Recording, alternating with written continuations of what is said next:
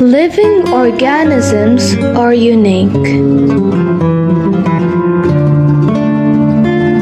They can extract energy from their environment and use it for movement, growth, development, and reproduction.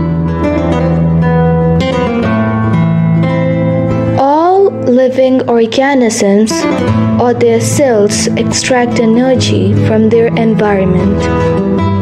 And the cells use this energy to synthesize and assemble the components from which the cells are made. But how life came, or more correctly, how life came to Earth? Is origin of life a result of a supernatural event which is beyond the powers of physics, chemistry, and other science? Is life, particularly simple forms, spontaneously and readily arises from non-living matter in a periods of time? Is life co-eternal with matter or has no beginning? Is life arrived on earth at the time of earth's origin or shortly thereafter? If life is a result of any of this, then what is consciousness? Is life arose on the early earth by a series of progressive chemical reaction? Such reactions may have been likely or may have required one or more highly improbable chemical events. The most complex unsolved question, like how universe created, the origin of life. Is based on deep understanding about origin of life.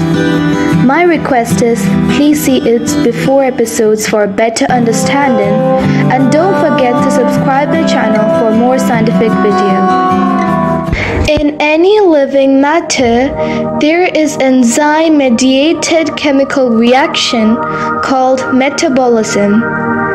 Metabolism is the ability to extract energy from your surroundings and use it to keep yourself alive, which is required for growth and maintenance of cells. And for that, all living organ needs food. So, to find origin of life, we should understand origin of food because origin of food is more important than to the origin of life. If life is a self-maintaining, self-producing, and mutable molecular system that derives energy from the environment, then food is certainly required for life. Basically, animals including human depends on plant and other animal for food because no animal can create their own food. They depend upon plants directly or indirectly. And how plants make their food? By photosynthesis by sun, water, and mineral which are non-organic material. Similarly, if a living cell, first created by any simple form or in a form of a genetic material, then also he should have that ability to process metabolism. But metabolic cycles were not like life. They are fundamental to life. But how metabolism process started?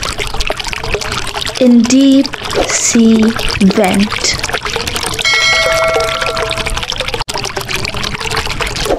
A flow of hot water streaming out of a volcano. The water was rich in volcanic gases like ammonia and held traces of minerals from the volcano's heart. When the water flowed over the rocks, chemical reactions began to take place.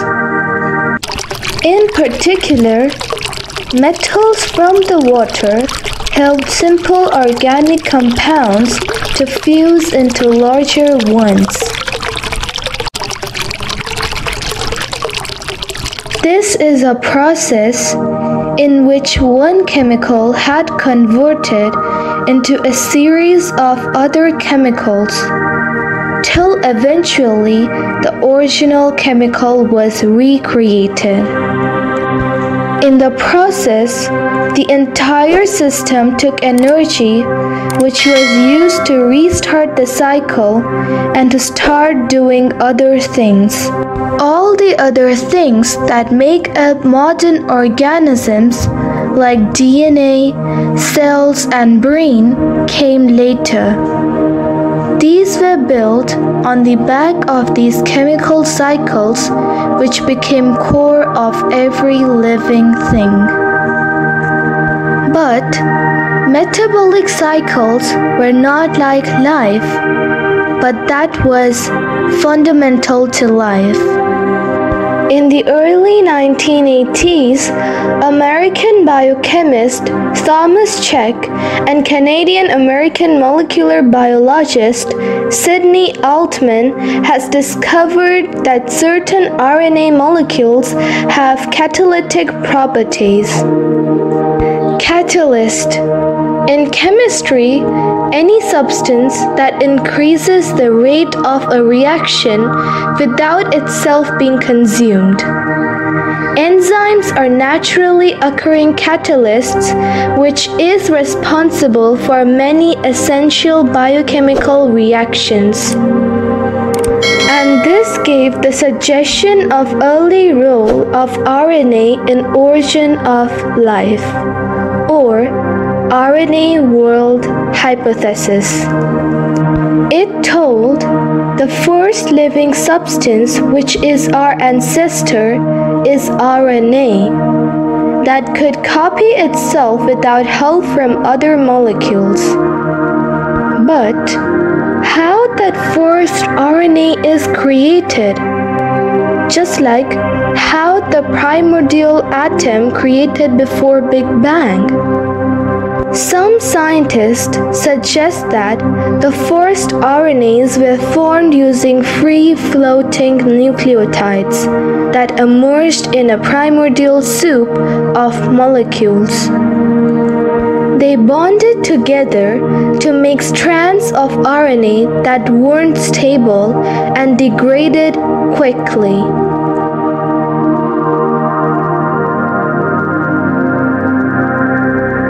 But some were more stable than others which grew faster than they broke down.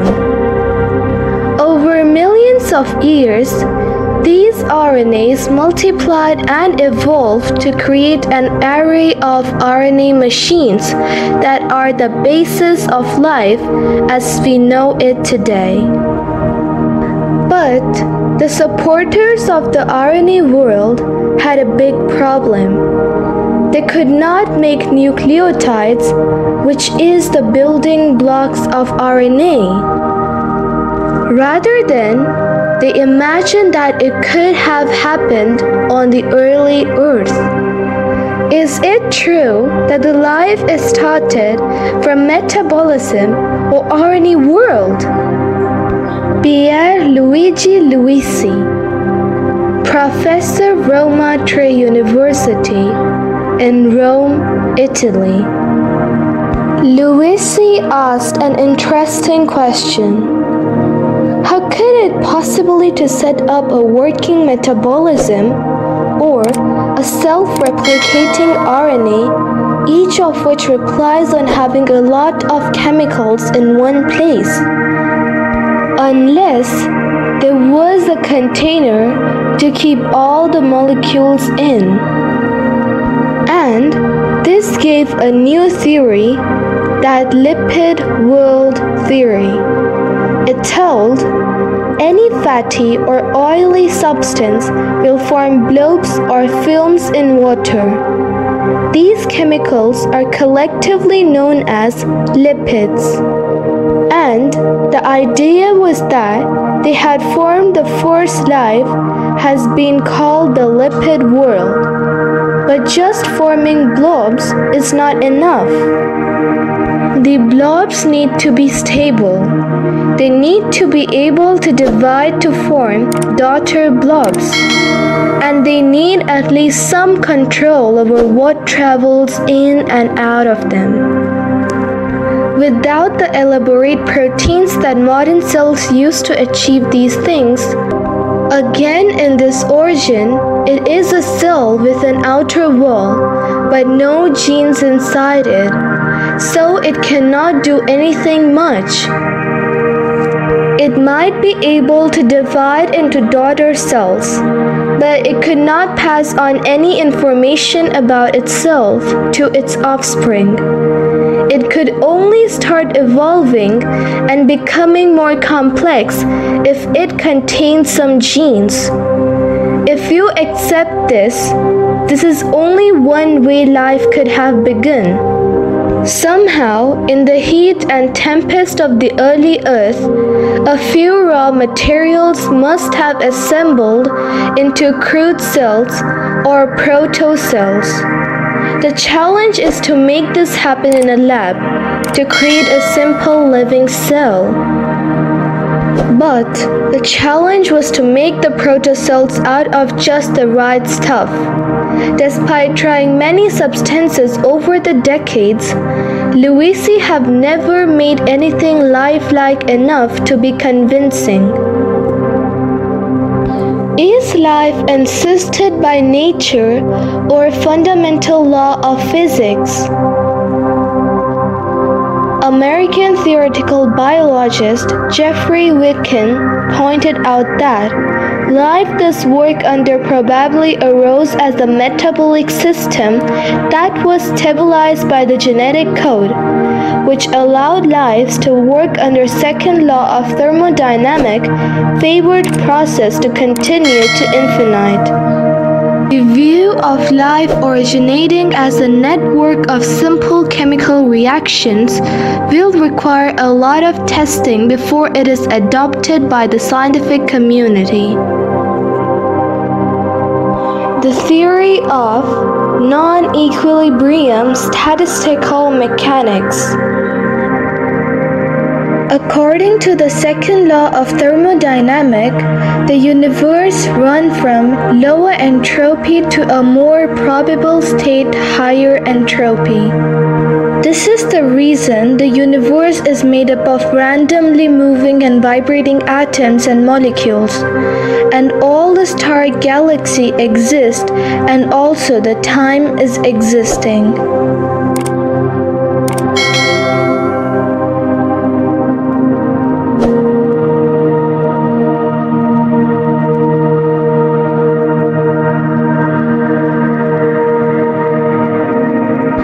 Most probably, entropy gave us the answer how the universe created and why we experience time as running past to present to future. But in case of origin of life, we cannot put the same law, because in origin of life case, the cell or ultimate ancestor most likely be endothermic because it release energy. The net change in entropy would therefore be negative and the change not spontaneous. Let us understand more briefly. Every physical and chemical process wants to go in equilibrium because they want to go from higher energy to lower energy stage, better stability. But living process is constant effort not to go equilibrium rather than maintaining steady process.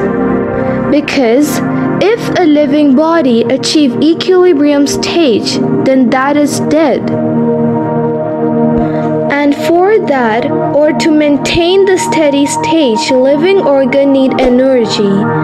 And energy is collected by the body by metabolic reaction. If there are so many differences in living and non-living substance, then how a non-organic substance force transferred to organic matter and became our ultimate ancestor against the most powerful law of nature? Did life on Earth came from outer space?